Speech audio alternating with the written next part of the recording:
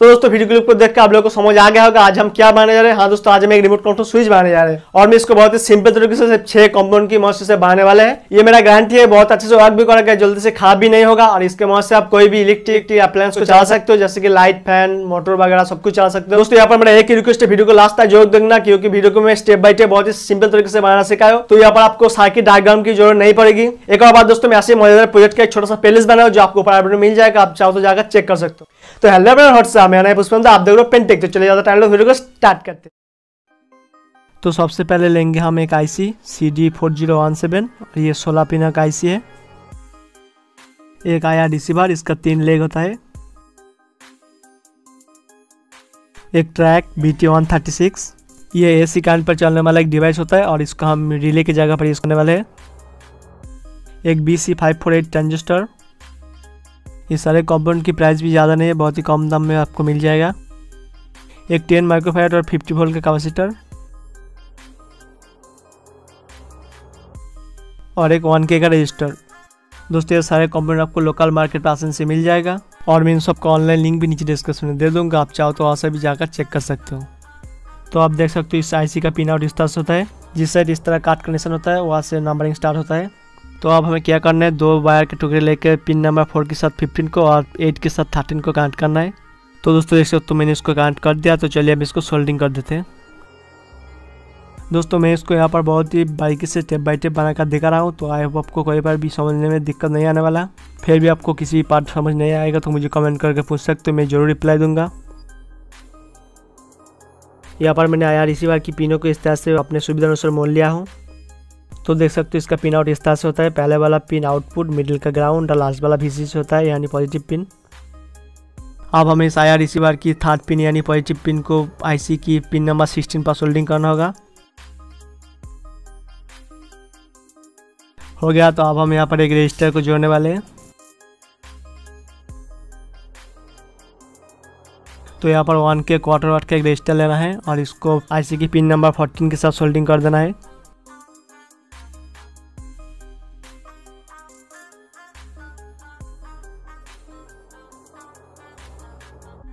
तो ये भी हो गया अब एक कैपेसिटर लेना है 15 वोल्ट 10 माइक्रोफाइट की। तो देख सकते इसका सफ़ेद वाला हिस्सा यानी इस साइड नेगेटिव और इस साइड पॉजिटिव होता है। तो अब हमें इस कैपेसिटर के पॉजिटिव को इस आईसी के 40 नंबर पिन पर और इस नेगेटिव को आया रिसीवर की ग्राउंड पिन पर जोड़ देना है। दोस्तों, अगर आप लोग को इस वीडियो अच्छा लगा, वीडियो से कुछ भी सीखने के लिए मिल रहा है तो वीडियो को ज़ोर से लाइक करना।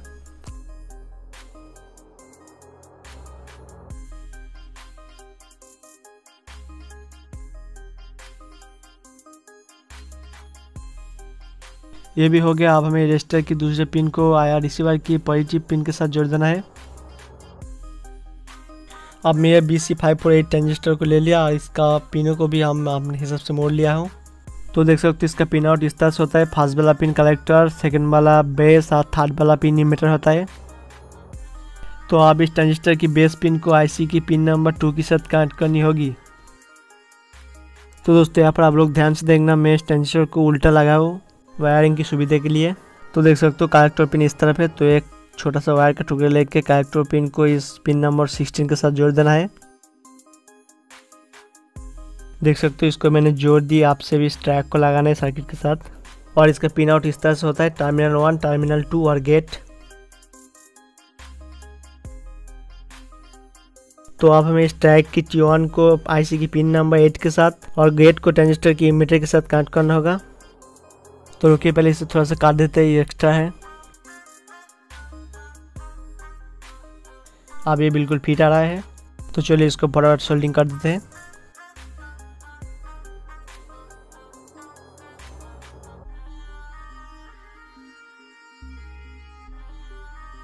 तो अब यह भी हो गया, आपसे भी इसको टेस्ट करना बाकी है।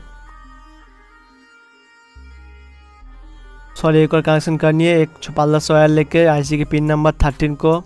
आया रिसीवर की ग्राउंड पिन के साथ कनेक्ट करनी होगी।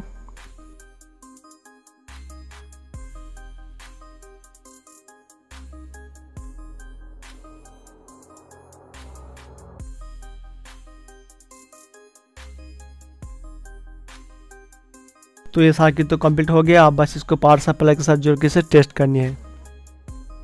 तो देख सकते हो, यहाँ पर मैंने एक थ्री पॉइंट सेवन वोल्ट का लिथियम बैटरी ले लिया, और इसको अब हम इस सर्किट के साथ जोड़ने वाले हैं।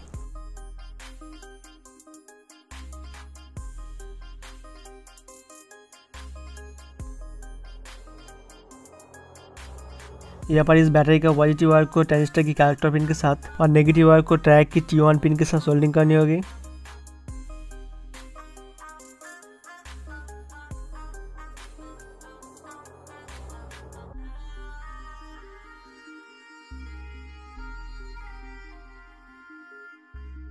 हो गया तो अब इसको एसी सप्लाई के साथ जोड़ने वाला हूँ। तो देख सकते हो, यहाँ पर मैंने एक इस तरह का लैम होल्डर ले लिया और इसके साथ एक लंबा सा वायर जुड़ा है। अब हमें क्या करनी है? बहुत ही सिंपल है। बस आप इस सर्किट को सिर्फ़ स्विच का जगह पर लगाना है। तो उसके लिए आप हम एक वायर को काट कर लेंगे इस तरह से। तो यहाँ पर सर्किट को हम जोड़ने वाले हैं। इस बात को थोड़ा ध्यान से देखना दोस्तों।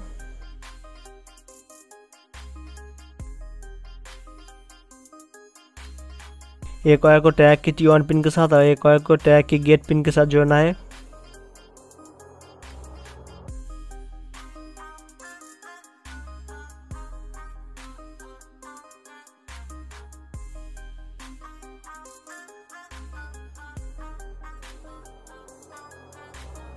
ये एकदम पूरी तरह से कंप्लीट हो गया तो चलिए अब एक लैम्प लगा के इसे टेस्ट करते हैं। तो चलिए पहले एक छोटा सा लैम्प लगा कर टेस्ट कर लेते हैं, बाद में यहाँ पर एक बड़ा लैम्प लगा कर भी टेस्ट करने वाले हैं।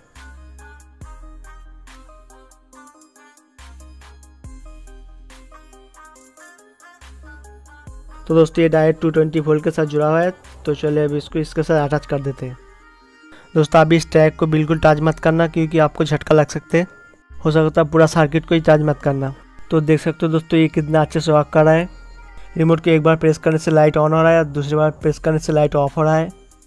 तो चलिए फिर इस लैम्प को चेंज करके एक ज़्यादा वाट का लैम्प लगा कर देखते हैं। दोस्तों, इससे सिर्फ़ लैम्प ही नहीं, इससे आप कोई भी इलेक्ट्रिक अप्लायंस चला सकते हो। जैसे कि लाइट फ़ैन मोटर फ्रिज वगैरह सब कुछ। देख सकते हो ये भी कितना अच्छे से वर्क कर रहा है। दोस्तों, इसको चलाने के लिए आप रिमोट का कोई भी की इस्तेमाल कर सकते हो। कोई भी एक की प्रेस करने से ऑन हो जाएगा, दूसरी बार कोई भी एक की प्रेस करने से ऑफ़ हो जाएगा, और यहाँ पर आप किसी भी रिमोट को ले सकते हो, ये सारे रिमोट पर काम करेगा।